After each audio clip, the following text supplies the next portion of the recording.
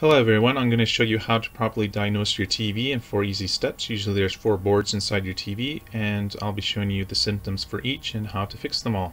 So I'm just making sure it's all plugged in and I'm going to turn on my TV and see what I'm getting.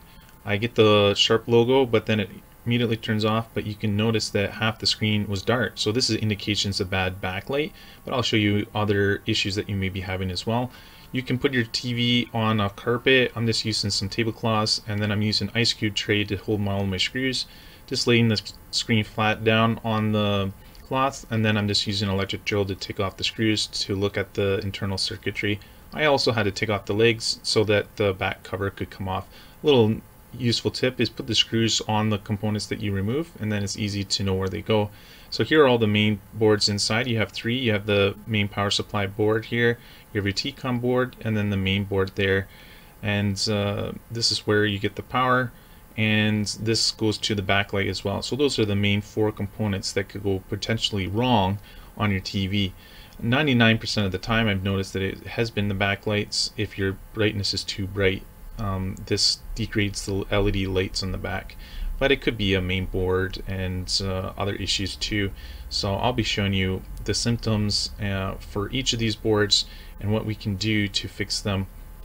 Uh, this uh, TCON board goes down to the LCD strip and it's responsible for the horizontal lines. So uh, that could be an issue.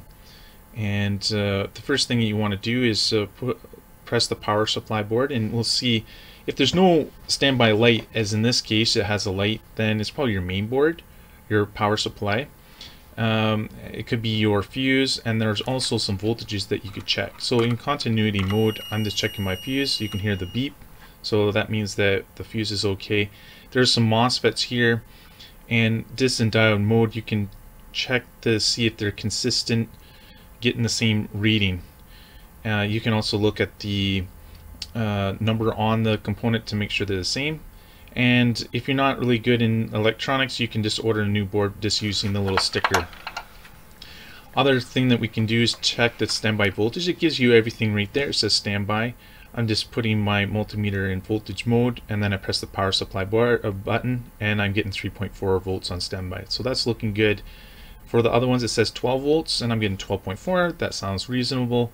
I'm getting 20 volts here as well. That's all good. So let's check out the backlights. This is the most common uh, issue with TVs I've found that it's just with uh, the TV turns on but it has a black screen. You want to disconnect the connector from the supply board that goes to the LEDs. There's usually two strips. I'm testing the first one. I'm getting 83 volts and if you turn off the light you can actually see the glow coming out. So that means that strip is good but I'm testing the other strip there and the voltage not changing. That indicates that that strip is bad. Um, other issue you may have is the main uh, board and that's responsible for like loading all the apps and stuff. So if it's really slow processing or you're freezing not stuck on the logo or it doesn't even turn on at all because the power supply button is connected to this it could be that you just order it. It's the most expensive part so I found actually a quick fix is to uh, put it into the oven for 10 minutes just to reflow it and that seems to work.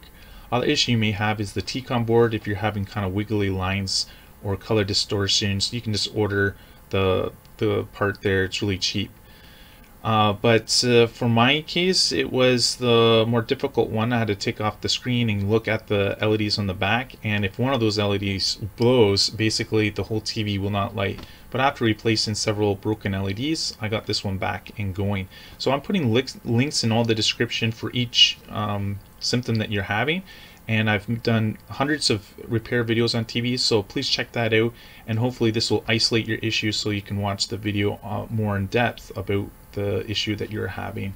I'll see you in the next one and if you like uh, electronics you can subscribe and uh, I also put useful tips and tricks how to keep your TV uh, lasting a long time. Okay, until next time. Bye.